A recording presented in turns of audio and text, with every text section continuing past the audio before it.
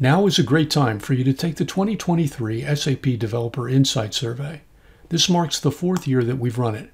We've added some new topic areas in this year's survey, but still managed to shorten the overall time it will take for you to complete it. We've also added a freeform section for you to raise important issues. The responses we've gathered in past surveys have proven to be important year over year for SAP. All this helps us understand key aspects of how you work. As always, we'll share an external survey report in the next few weeks. So, while you're here, why not click on the link below and take an extra 10 minutes of your time to share your perspective with us and the community? Thanks. Hola, SAP developers. The OpenSAP course for the SAP Master Data Integration Service started this week. If you're interested in learning how you can simplify the integration of master data between SAP and non-SAP applications in your landscape, make sure to join this free course. The course goes for four weeks and it will give you a general overview of what the service is, how to set it up, explain what the SAP master data orchestration is, and also which protocol to use depending on the master data integration scenario. I'm including a link in the description below so you can join it. Happy learning! SAP TechEd 2022 might be over, but there's plenty of material from it that's available for us to watch for free. There's all sorts of content on lots of different topics. There's Jürgen Müller's opening keynote, featuring also some of my awesome developer advocate colleagues. There's the Developer Advocates download, which was at the end of day one.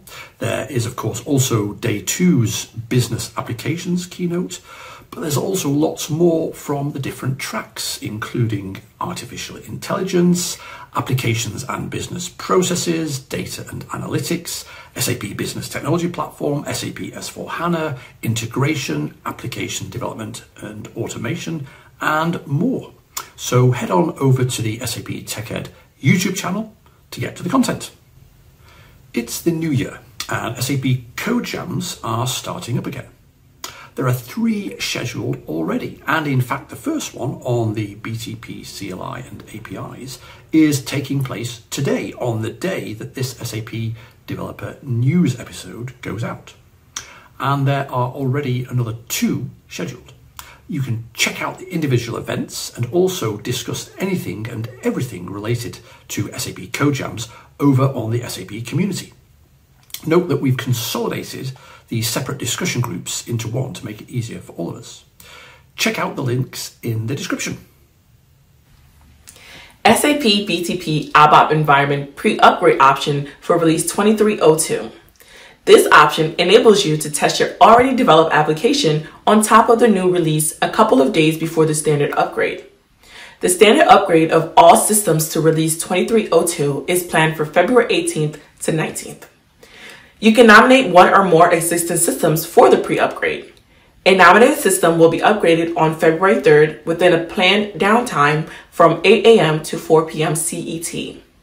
This offering is optional and free of any additional charges. Read Frank Jentsch's blog post to learn more about the pre-upgrade option and how you can nominate a system. At the end of 2022, we challenged you to show us how you would make use of the machine learning capabilities embedded in SAP HANA Cloud to approach an employee churn.